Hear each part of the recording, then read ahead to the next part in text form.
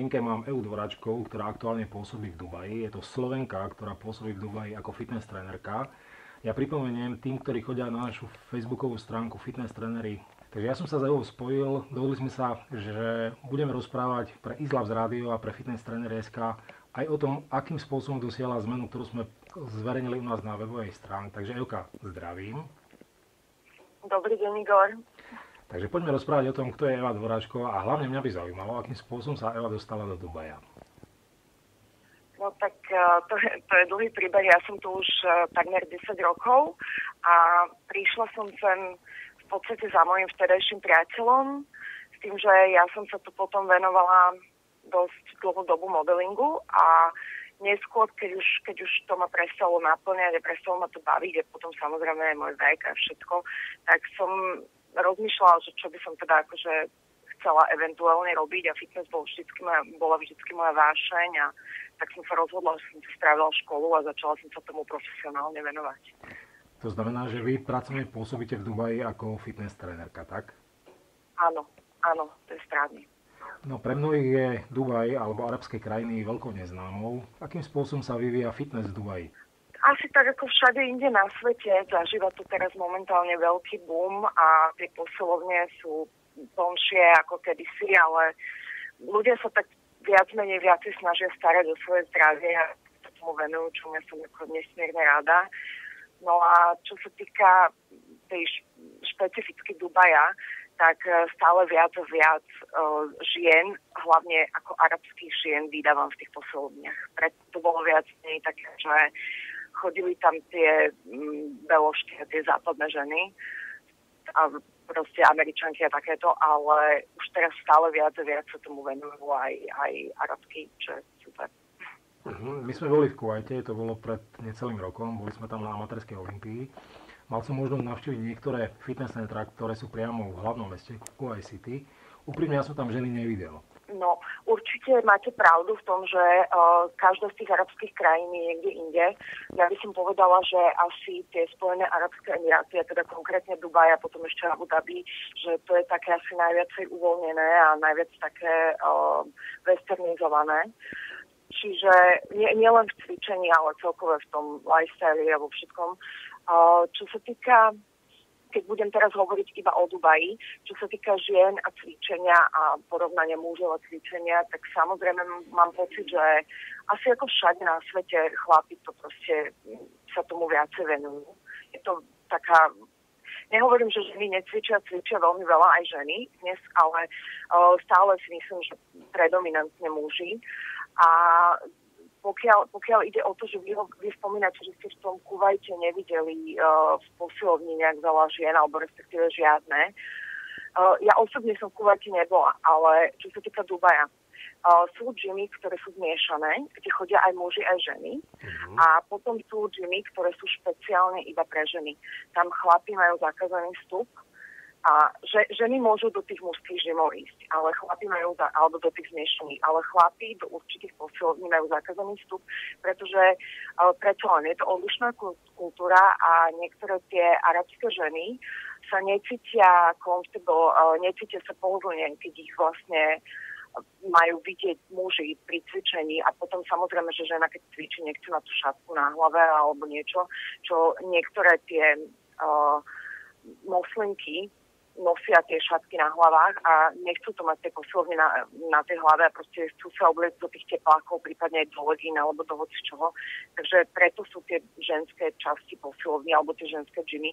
Takže je možné, že v Kuwait je to takto. Ja v Kuwaitu nemám skúsenosť, takže, ale predpokladám, tak to funguje tu na. A potom máte zmiešané džimy, kde chodia aj aj ženy, aj muži a chodia tam aj, chodia tam aj miestne ženy, chodia tam niektoré aj tie, aj tie moslimky, to už je potom na tých ženách. A ďalšia vec, taký, taký fenomén tu na, je, že strašne veľa týchto žien a hlavne no, teraz vrátim som o tých moslimkách, majú doma posilovne a nechcú chodiť vôbec do ničomu, cvičiť. A tomu sa konkrétne venujem aj ja, ja za nimi cestujem domov a ja s nimi doma.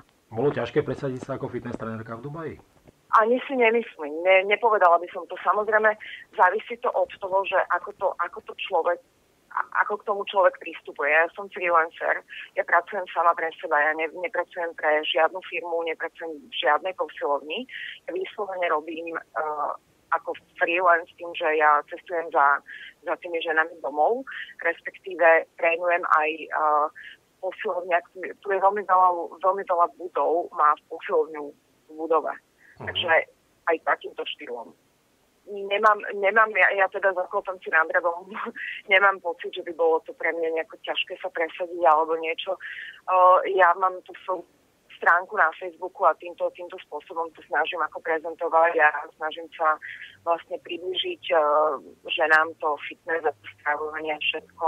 Samozrejme je to globálne, tá fitness stránka, ale uh, prináša to vlastne, prichádzajú do styku s tým aj ľudia, alebo ženy, ktoré sú v Dubaji a možno, že im to pomáha sa osmeliť a, a tak. Mm, my vám voláme nie kvôli tomu, aby sme rozprávali o tom, čo robíte v Dubaji, ale kvôli tomu, že uh, vy ste prezentovali u nás na tej facebookovej stránke Fitness Trainer.sk fotografie, kde som videl Evu ťažšiu ako potom na tej finálnej fotografii, takže poďme rozprávať o tom, čo sa stalo, prečo ste toľko pribrali kvôli tomu, že modelka predsa musí byť štíhla a zrazu keď e, naberie na hmotnosti, zrejme je tam nejaký problém. Takže čo sa vlastne stalo, akým spôsobom ste potom tento problém zvládli? No tak keď, sa, keď vlastne vrátim sa do roku 2009, tak čo sa mi stalo je, že ja som zrazu zo dňa na deň začala strašne priberať a nevedela som absolútne, že prečo sa to deje, pretože ja som bola, ja som bola štíhla, ja som cvičila, ja som sa zdravo stravovala už dlhé roky Samozrejme, niekedy človek priberie, ale nikdy to nebol nejaký problém pre mňa schudnúť znova a vrátiť sa do formy znova.